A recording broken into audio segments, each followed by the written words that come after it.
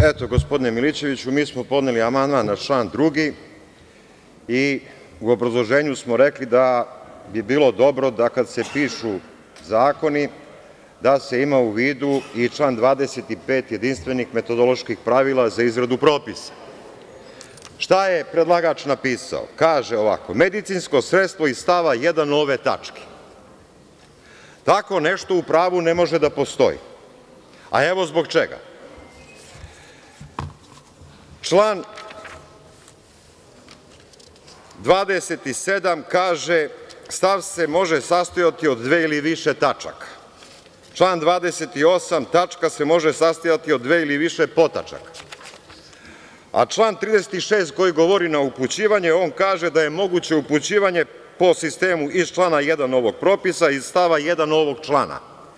Ne postoji iz stava 1. ove tačke. I ja sam očekivao, eto, mi smo vam pomogli da malo sredite taj, vi ste ovako junački to odbili, dobro, takva je sudbina naših amandmana, ali ćete imati problema, ne zbog ovog amandmana, da me pogrešno ne shvatite, generalno ćete imati problem sa ovim zakonom zato što se radi stvarno o neuspešnom prevodu propisa koji već postoje u nekim državama koje su članice EU, a i oni su pogrešili prilikom prevoda onih šest direktiva i tri uredbe. I ceo ovaj predlog zakona odiše nedorečenošću, kontradiktornošću, pa čak ne možete naći ni vezu između dva člana. Mi smo pokušali da vam skrenemo pažnju, kasnije ćemo da dođemo do onoga što bi morala da bude suština ovog zakona, to su standardi, o tom potom.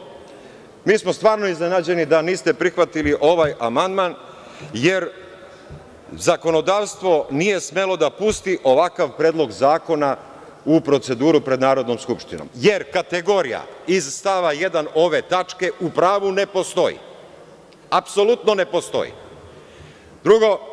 Jedinstvena metodološka pravila za pisanje propisa koje je donela Narodna skupština, koje obavezuju Narodnu skupštinu, obavezuju Vladu kao predlagača, treba da se poštuju, ali odlučili ste šta ste odlučili.